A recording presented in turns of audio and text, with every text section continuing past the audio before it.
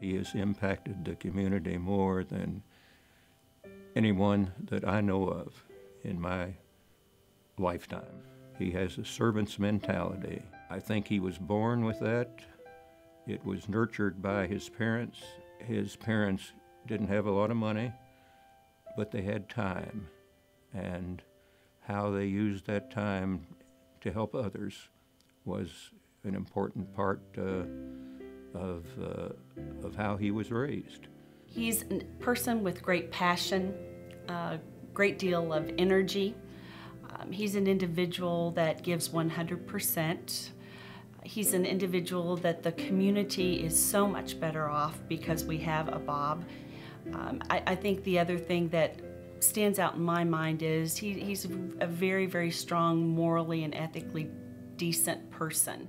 If someone was in need of help and called Bob, the response would be yes. He's kind of a magnet for people. People just want to be around Bob. They want to talk with him. They want to, you know, share in his life experiences. I think that everybody knows that he cares. He just uses his, his time and talents and treasures to be able to do the most that he can um, to make sure that he's always serving and giving back to the community and he's making it a better community for all of us living in it. Bob is, is most deserving of the Chancellor's Medallion, which represents community service and leadership.